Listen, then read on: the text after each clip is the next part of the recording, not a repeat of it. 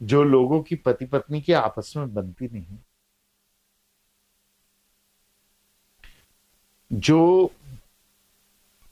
लोग शादी करना चाहते पर शादी हो नहीं रही है, जीवन साथी मिल नहीं रहा है, उनको एक अद्भुत, एक गुप्त साधना मैं बता रहा हूँ। इसका प्रयोग करें।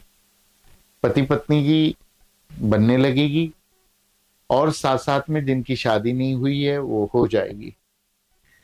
नियमित रूप से रोज साढ़े बारह हज़ार जब हर रात्रि को करे, स्नान करके शुद्ध सीधे हाथ की ओर दिया लगे और उल्टे हाथ की ओर अगरबत्ती। बीच में आपके इष्ट देवी देवता की मूर्ति रखे या यंत्र, या तस्वीर रख दे, ना हो मूर्ति या यंत्र तो। और इस मंत्र का जप करें। मंत्र की मैं दीक्षा दे रहा हूँ क्योंकि बिना दीक्षा के मंत्र काम नहीं करता। चमड़ा पहना हो, शरीर पे तो निकाल दीजिए।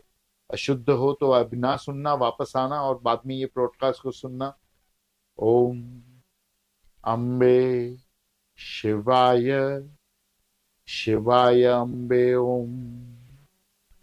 ओम अम्बे शिवाय शिवाय अम्बे ओम।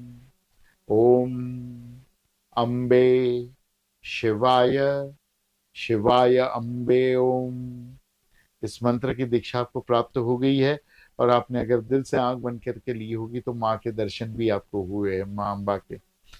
इसके साढ़े बारह हज़ार जब नवरात्रि एक आसन पे बैठकर, शुद्ध होकर, सीधे हाथ पे गाय का घी का दिया, जो जलना चाहिए जब तक मंत्र चल रहे हैं, उल्टे हाथ पे अगरबत्ती जलते रहनी चाहिए।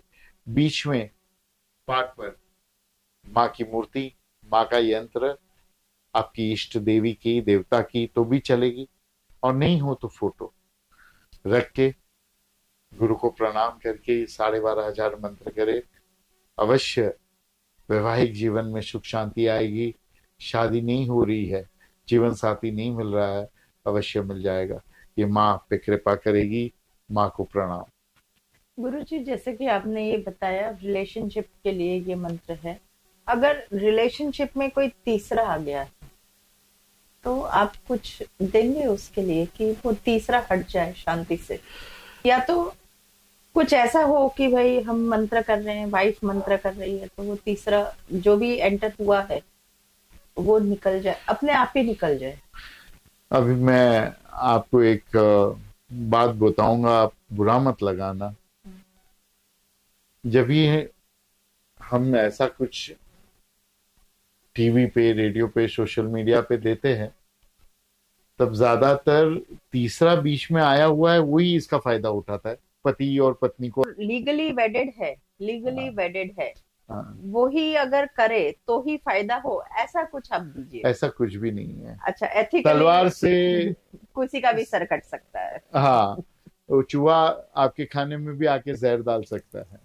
सही है। तो ठीक है, उसके लिए हम पर्सनली हितेश गुरु जी से जिसको भी कांटेक्ट करना है, हम स्क्रीन पे नंबर दे रहे हैं, वो आप कांटेक्ट कर सकते हैं। अच्छा अगर कोर्ट केसेस हैं किसी के तो हम कौन से मंत्रों का नवरात्रि में लाभ ले सकते हैं? कोर्ट केसेस के लिए सर्वोत्तम है माँ बगलामुखी की उपासना। आपको अवश्य माँ बगलामुखी की उपासना करनी ही चाहिए अगर कोर्ट केस से आप पीड़ित है तो पहली बात। दूसरी बात यह है कि अगर दीक्षित नहीं हो तो बगलामुखी का प्रयोग बिल्कुल मत करना। Right right. और अगर दीक्षा नहीं है तो अर्गला स्तोत्र का आप उच्चारण करिए। जैन है तो भक्तामार स्तोत्र करिए। इससे तुरंत मुक्ति होगी। हमारे YouTube चैनल पर आपको अर्गला स्त्रोत्र मिल जाएगा।